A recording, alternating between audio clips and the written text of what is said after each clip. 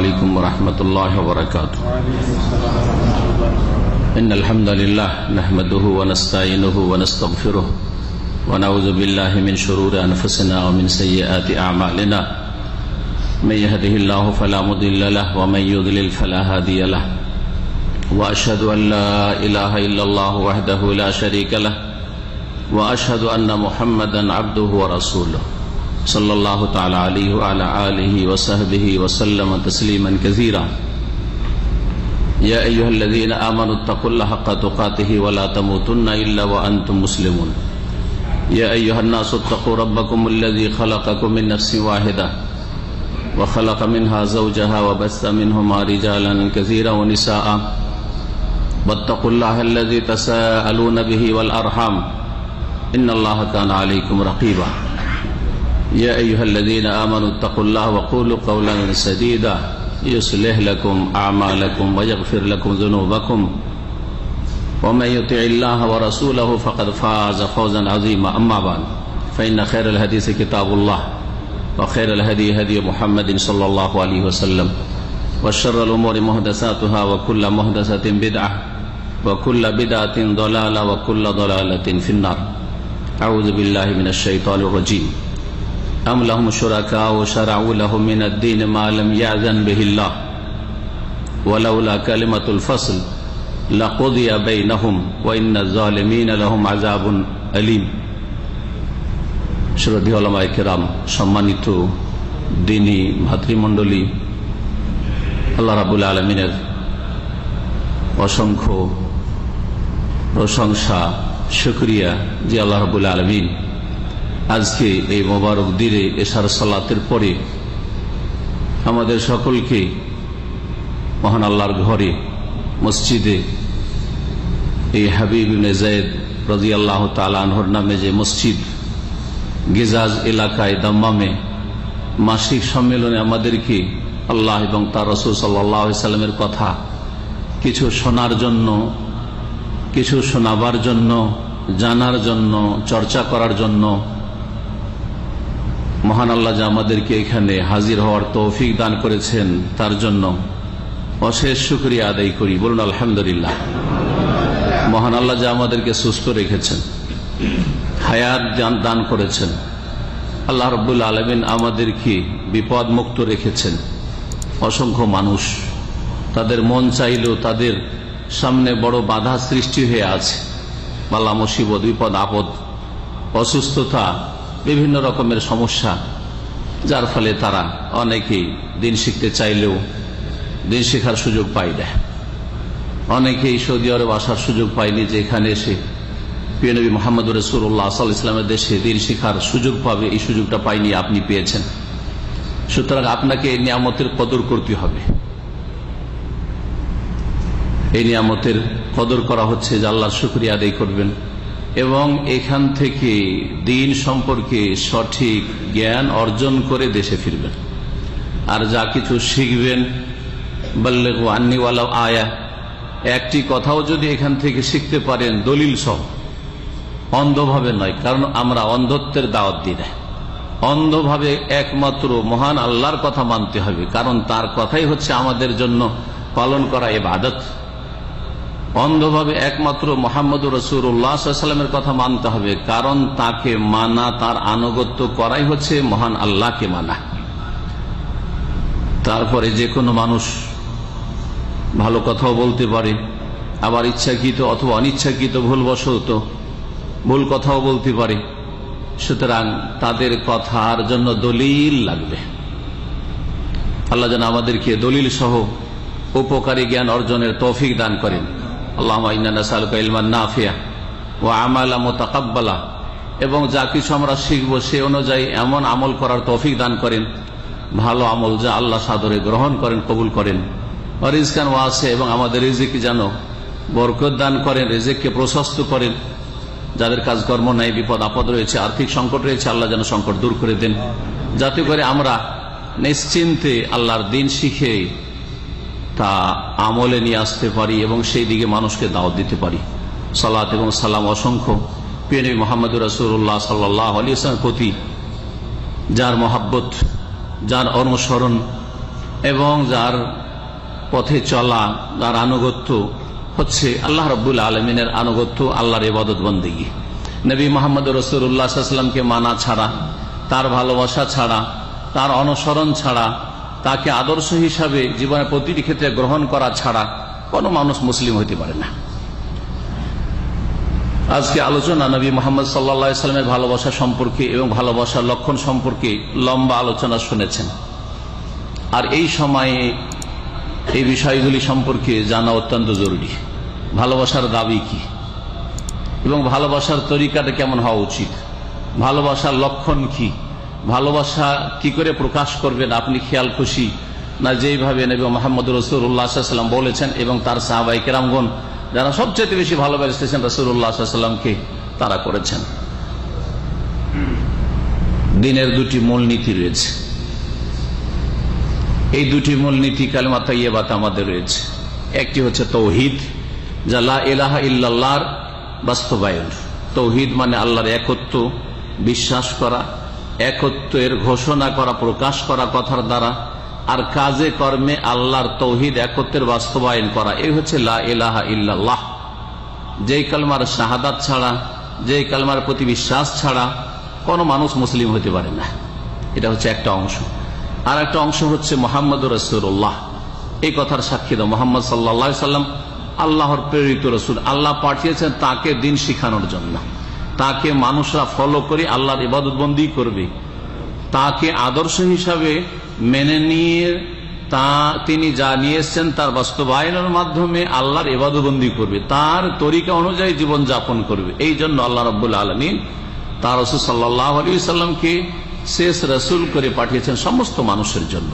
এই যে দ্বিতীয় কথাটি আছে, মোহাম্মদুর রসুল্লাহ এই কথার দাবি হচ্ছে সন্না যে আপনি নবীর অনুসারী হবেন, সুন্নতের অনুসারী হবেন। তৌহিদ এবং সন্না আল্লাহর একত্র প্রতিষ্ঠা করবেন। লাহ এবং নবী মোহাম্মদ রসুল্লাহামের সন্না আদর্শ মোতাবেক জীবন গড়বেন। জীবনের প্রতিটি ক্ষেত্রে আপনি নবীর তরিকা সন্ধান করবেন।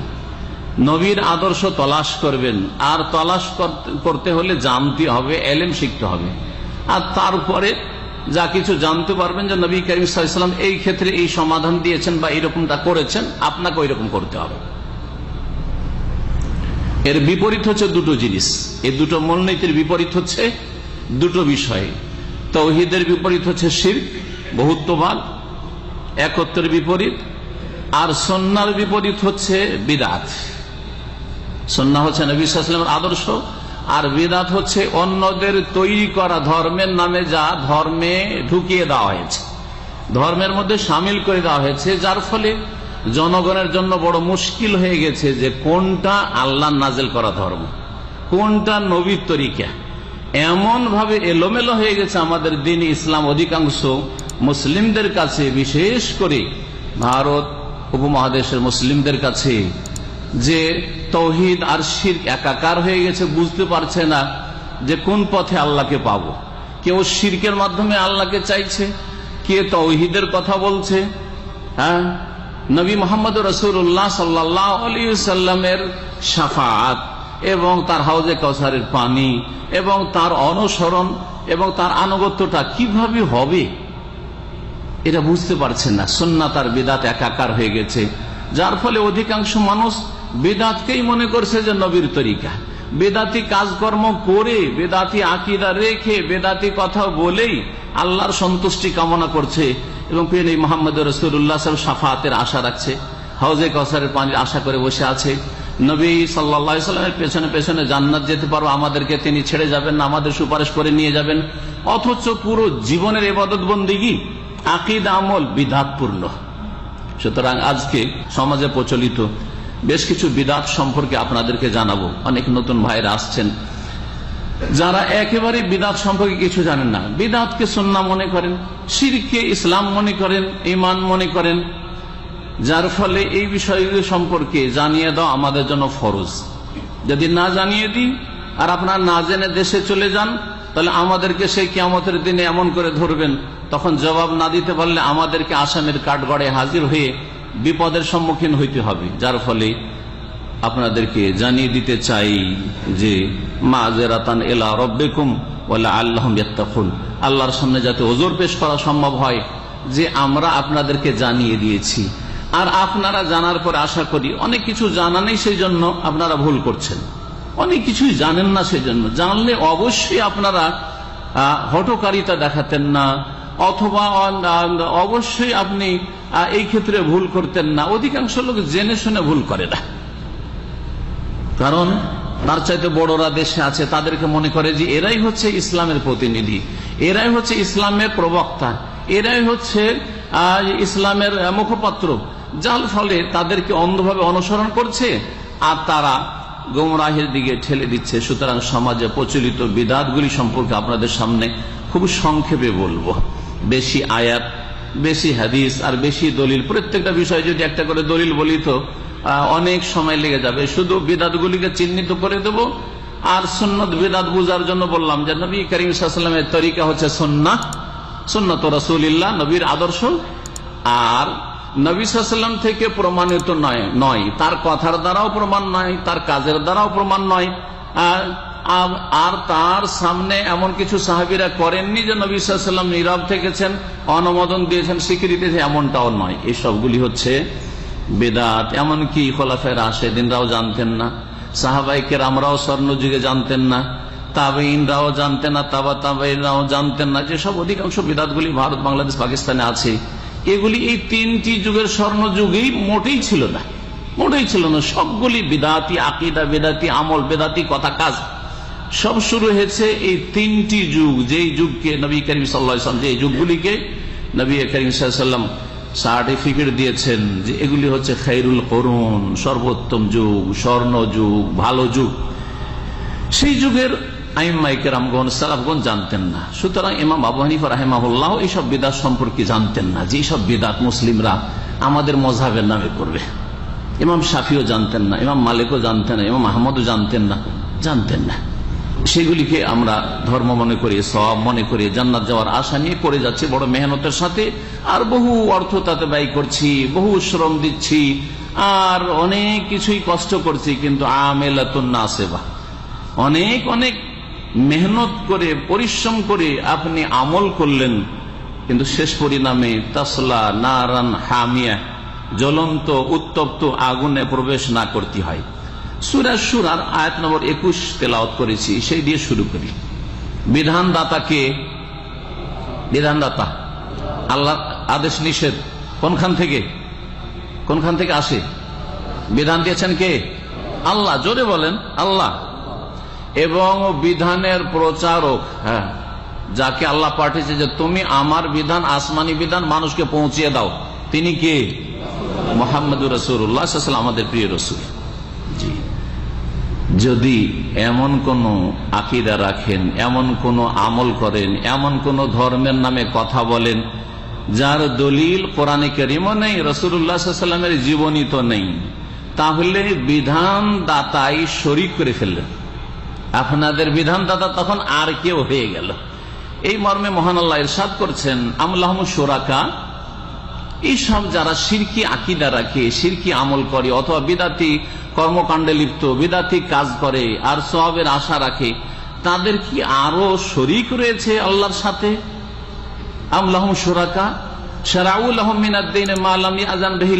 যে তাদের জন্য ধর্মের ক্ষেত্রে এমন কিছু রচনা করেছে তারা, নিয়ে এসেছে, প্রণয়ন করেছে মালাম আজান বেহিল্লা যার পারমিশন, যার অনুমতি আল্লাহ দেননি। আল্লাহ বললেন না কোরআন করিমে? তার পক্ষ থেকে প্রেরিত রসুল মোহাম্মদ সাল্লাম বললেন না, করলেন না, কোনো অনুমোদন দিলেন না। আর তারা করা শুরু করল, তো কোথেকে করা শুরু করল? তাদের কি আরও অন্যান্য শরিক আছে বিধানদাতা, যারা এই সোয়াবের কাজগুলি তাদেরকে দিয়েছে যে আমরা আল্লাহর শরিক, আল্লাহর সাথে আমাদের ভাগিদারি আছে, আমরা তোমাদেরকে দিচ্ছি ধর্মকর্মগুলি এগুলি করো? আল্লাহ এইভাবে জিজ্ঞেস করছেন, কি বলেন, আল্লাহর সাথে শরিক আছে নাকি? না কোনো শরিক, লা শরিক আল্লাহ কালেমা তহিদ সবার মুখস্থ আছে। লা ইলাহ ইল্লাল্লাহু ওয়াহদাহু আল্লাহ লাহুল মুলকু ওয়ালাহুল হামদু ওয়াহু আলা আল্লাহ বলছেন যে এই যে যারা শিরকি কাজ করে, বেদাত করে, যারা আল্লাহ ছাড়াও কারও বিধান নিয়ে থাকে, ধর্মকর্ম নিয়ে থাকে কোন সূত্র থেকে, এদের সম্পর্কে আল্লাহর যদি চূড়ান্ত ফয়সালা না থাকতো যে এদেরকেও দুনিয়াতে কিছু কাল রাখব। ওয়ালাউলা কালেমাতুল ফসলে তাহলে আল্লাহর এত ক্রোধ হয় শির বিদাতের ওপর যে তাদের ওপর চূড়ান্ত ফয়সালা করে দুনিয়াতেই ধ্বংস করে দেওয়া হইতো। শিরিককারীকে ধ্বংস করে দেওয়া হতো একটা দানা দেওয়া হতো এক এক ঢোক পানি দেওয়া হতো না। বেদাতকারীকে ধ্বংস করে দেওয়া হতো এক লোকমা খাবারও দেওয়া হতো না আর এক ঢোক পানিও দেওয়া হতো না। ওলা ওলা কালিমাতুল ফাসলে লাকোদিয়া বাইনাহুম। তারপর আল্লাহ এদেরকে জালেম বলছেন যারা শিরিক করে। ধর্মের নামে। এমন নয় যে দুনিয়ার কুপ্রবৃত্তির অনুসরণে দুনিয়ার স্বার্থে পাপ করছে। যেসব অন্যান্য পাপ আহ, সেসব পাপগুলি দুনিয়ার স্বার্থে। কেউ কাউকে টাকার জন্য খুন করে দিল। আর কেউ কুপ্রবৃত্তির অনুসারে ব্যবচার করল কেউ বদ অভ্যাসের কারণে মদ খেলো হারাম খেলো সুদ খেলো ঘুষ খেলো। এরা সবের আশায় কেউ করে না। এরা সবাই জানে যে পাপ সুদ খাওয়া পাপ। ঘুষ খাওয়া পাপ, খুন করা পাপ, ব্যবচার করা পাপ, মদ খাওয়া পাপ, পাপিরা জানে যে পাপ। কিন্তু শিরিক করা পাপ, এটা জানে না, শিরিককারীরা মনে করে যে এটাই আল্লাহ পর্যন্ত পৌঁছাবে। বেদাত যারা করে, তারা মনে করে যে এই বেদাত বেদাত নয়, এইটা করেই তো জান্নাত পাবো। এদেরকে আল্লাহ জালে বলেছেন। শির্ক হচ্ছে সবচাইতে বড় জুলুম, সুতরাং মুশেক হচ্ছে সবচাইতে বড় জালেম। আর তারপরে বেদাত যেহেতু ধর্মের নামে হয়, আর বেদাত ধীরে ধীরে শির্কের দিকে নিয়ে যায়, ছোট বেদাত বড় বেদাতে নিয়ে যায়, বড় বেদাত বড় শিরকে নিয়ে যায়। সুতরাং এদেরকে আল্লাহ জালেম বলার পরে আয়তে বলছেন আজাবুন আলিম। জালেমদের জন্য মর্মান্তিক শাস্তি রয়েছে। যারা শির্ক বেদাত করে মরবে, তাদের জন্য মর্মান্তিক শাস্তি রয়েছে। আখেরাতের আজাব তো রয়েছে, কিন্তু দুনিয়ার আজাবেরও আশঙ্কা রয়েছে, যেমন সুরা নূরের আয়াত নম্বর তেষট্টিতে মহান আল্লাহ ইরশাদ করছেন